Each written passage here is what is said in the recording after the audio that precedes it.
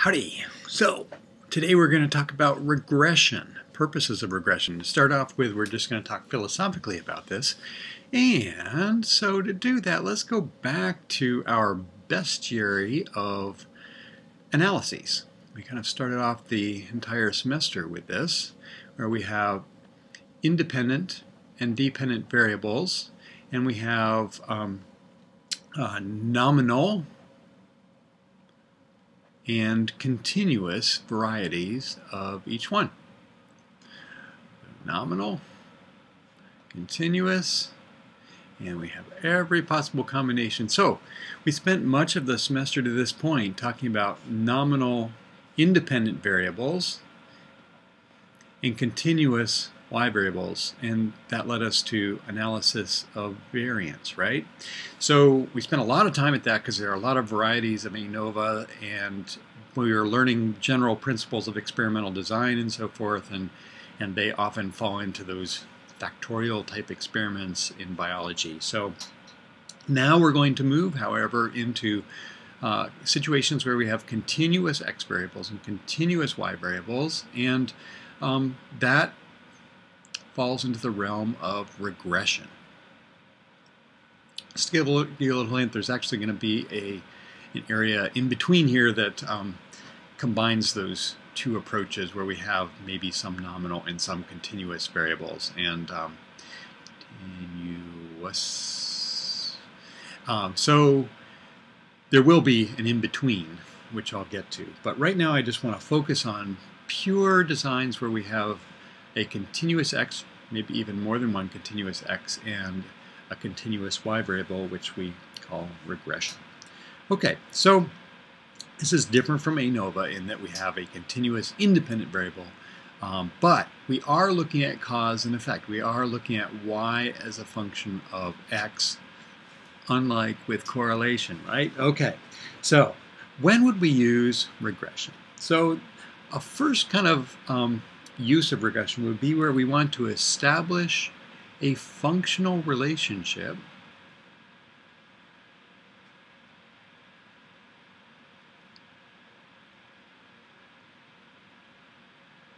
between some independent variable, between x and a dependent variable y. Okay, so by the way, when we do this, we say we regress y on x. Um, you might say, why don't we regress x on y? Because y is our dependent variable, and we're asking, does it depend on x? Okay, so uh, when we do this kind of regression, a um, whoops a a cause and effect relationship is implied.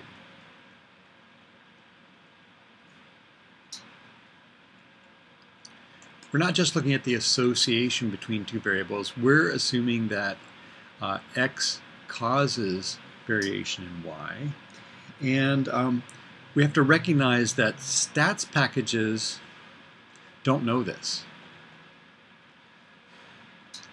They don't know automatically.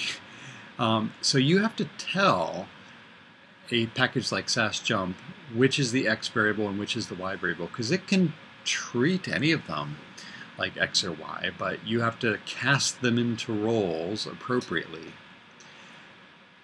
And uh, in SAS JMP, we'll be using fit y by x to do that. Okay, but remember, SAS and statistics packages generally are just high-speed computational idiots. They're doing your bidding, so you have to tell it which is the independent and dependent variable. When do you choose regression rather than correlation? You choose regression when you have a plausible biological mechanism. So, when you have a plausible, defensible, in other words, biological mechanism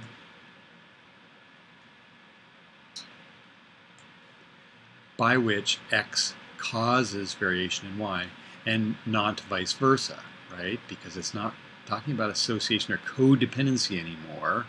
we're talking about directional effects of x on y, and you have a possible explanation for that. So for example, if we're talking about chlorophyll content and how that might influence photosynthetic rate, um, I suppose one could find and postulate mechanisms by which photosynthetic rate would influence chlorophyll, but generally that's a cause and effect relationship that's in this direction. And if we look at chlorophyll variation from leaf to leaf, for example, that would be influencing photosynthetic rate. And we would postulate that that's a one-way directional relationship, not the other way around. I suppose you could come up with stories about why those might be correlated. And maybe if you didn't understand the underlying physiology, you could just look, use correlation first to see if there's an association, and then you might go looking for a biological mechanism. But we know what that biological mechanism would be. It's photosynthesis, right? So, okay. So the other use for regression sometimes is to develop, I'm running on reserve power, is to develop, so another use of regression is to develop a calibration equation relating some x variable to some y variable that we want to infer. Um, so this is often used in calibration or it's often used also in getting an allometric relationship. So if we want to measure one thing but using an allometric relationship because of a known relationship, we, we want an equation relating one to the other so that we can infer one from the other. Then um, we might do regression. Okay, so overall, I want you to sort of think about regression the same way you've been thinking about analysis of variance, where we have y as a function of x with some error, okay? So we have error, unexplained variation in y, and we have explained variation, but now beta is the slope of the relationship between x and y, and then we have some y-intercept. And we don't particularly usually care about the y-intercept. We usually care about, care about the slope, and we care about is that slope significantly different from zero? So our null hypothesis is that beta, our parametric slope, equals zero. So the parametric slope of the relationship equals zero. And this is for simple linear regression. But we will introduce the idea of other kinds of regression as well that aren't necessarily linear and may have other coefficients. But let's not jump ahead of ourselves. Let's just look at straightforward linear regression. Notice how this decomposition of the effect on y is very similar to our model for um, ANOVA, which was, remember, y equals mu plus some effect of being a member of group i plus some uh, additional error variation, right? And we have that same kind of thing here, except that now we're looking at the slope of a continuous variable determining y.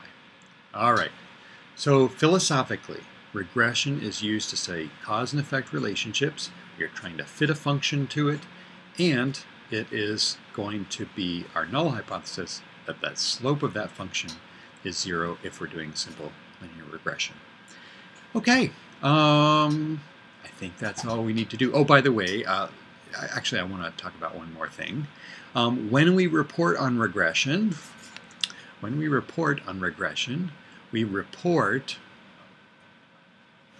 uh, this, the equation, including the slope, okay, the slope is what we're really interested in. We report r squared, not r. Okay, so that's a mistake that's often made. We report the equation, including the slope. We report r square, not r. And I'm going to have a separate video on exactly what r square is giving you. So look for that coming up. Because um, actually you're going to find that R-square is an interesting concept and it needs to be really understood before you go reporting it. Um, but we are really interested in this slope and we're using regression to test whether that slope beta equals zero or whether we can reject that null hypothesis and say that it is not equal to zero. All right, so that's why we're using uh, regression. That's why we're doing regression. Okay, leave it there.